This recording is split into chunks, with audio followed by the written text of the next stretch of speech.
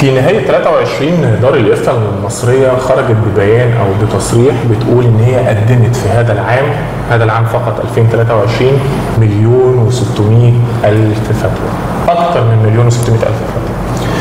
والحقيقة إنه ده بيكشف رقم مبالغ فيه حتى وإن كنا تقريبا 110 مليون هنقول 80 أو 75 مليون مواطن مسلم في سن الحصول على الفتوى الناس يعني المكلفة يعني من وجهة النظر الدينية بنتكلم على 40 مليون فتوى. فتقريبا إحنا عندنا لو حسبناها على 365 يوم هنلاقي عدد مهول من الفتاوى يوميا.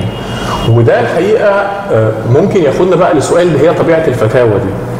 لو بتتابعوا البرامج التلفزيونية أو البرامج الإذاعية أو حتى اليوتيوب وال social media هتلاقي إنه مش هقول أغلب الفتاوى ولكن كثير من هذه الفتاوى مرتبطة بالجنس أو مرتبطة بأمور مرتبطة بالجنس أو مرتبطة بأمور مرتبطة بأمور مرتبطة بالجنس.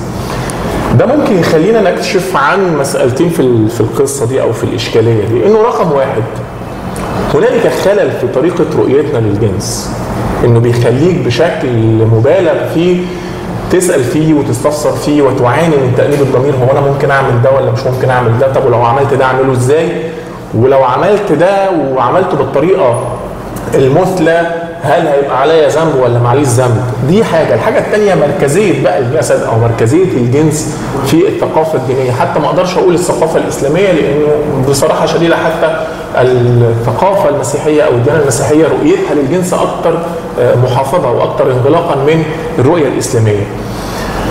طيب سؤال يعني إذا كنا إحنا كعلمانيين بنشوف إنه في نوع من أنواع التهافت في تناول الإسلاميين أو الأصوليين للجنس والامور المرتبطة بالجنس، طب إحنا كعلمانيين بنتكلم ليه؟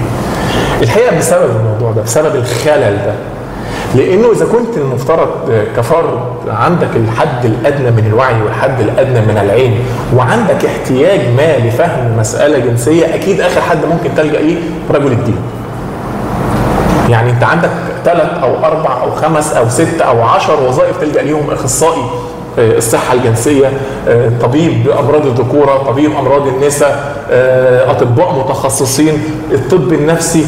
كتير جدا ممكن يفيدك في مسألة الجنس بمعزل عن رجل الدين اللي هيطلع لك كتب من التراث للأسف يعني كانت رؤيتهم للجنس أكيد رؤية قاصرة مش بحكم إن هم كانوا ناس وحشين أو ناس مش كويسة لكن بحكم التقدم العلمي. وإنه في أمور كتيرة كنا بنفسرها زمان وأقصد زمان ده يعني من مئات السنين أو قرون عديدة بشكل متهافت أو بشكل غيبي أو بشكل ما ورائي النهارده العلم قدر يقدم ليها تفسيرات وكذلك الجنس يعني.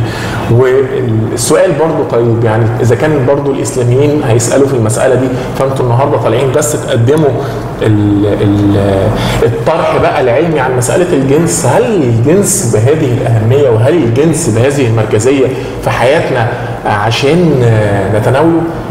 آه آه مهم. مهم على البعد الفردي ومهم على البعد الاجتماعي. مهم على البعد الفردي لأنه العلم اللي بيقول مش أحمد سامر اللي بيقول ولا العلمانيين اللي بيقولوا إنه إذا كان الإنسان عنده خلل في الممارسه الجنسية أو خلل في تلبية احتياجاته الجنسية هيلاقي عنده قصور في التواصل الاجتماعي قصور نفسي قصور حتى في الإنتاج. وعلى المستوى الاجتماعي تعالوا بقى حدث ولا حرج. لحد النهارده عندنا بنات مصرية بتنتهك وهي أمام أهلها بحجة أو بفكرة أو بثقافة غشاء البقرة بيتعمل دخلة بلدي والناس لازم تشوف الفضل ولازم تشوف شرف البنت وده بيعكس مش بس المشهد ده المشهد الجنسي ده لا لا بيعكس حاجات أهم وأبعد من ذلك وأبشع من ذلك وهي فكرة القهر الاجتماعي اللي بتتعرض ليه الفتيات لا سيما في المناطق الفقيرة والمناطق الأكثر تخلفا حضاريا وتخلفا معرفيا.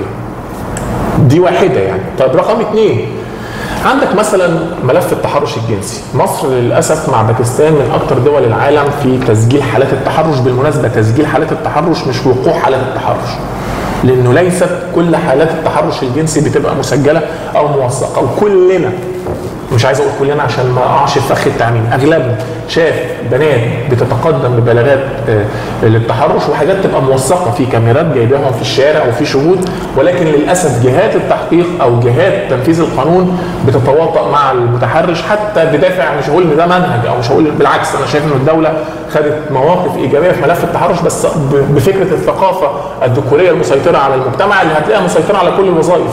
لا نستثني منها وظيفة يعني. إنه دي قضية بسيطة وإيه يعني قال لك كلمه وإيه يعني مد إيده.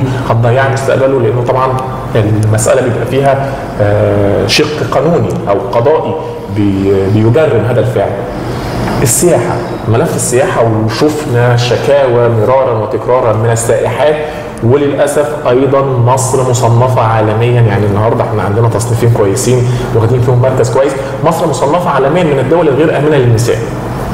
فالنهاردة الفرصة الاقتصادية اللي بتجيلك أو الفرص الاستثمارية اللي بتجيلك من وراء السياحة أنت بتتعرض فيها لانتكاسة لأنه السايح بيبقى عنده مشكلة إنه يجي لك وبالتالي السايح ما بيضخلكش نقد أجنبي يفيدك ويفيد حياتك ويفيد اقتصادك لمجرد إن أنت عندك هوس جنسي لمجرد إن عندك خلل جنسي لمجرد إن أنت عندك كبت جنسي.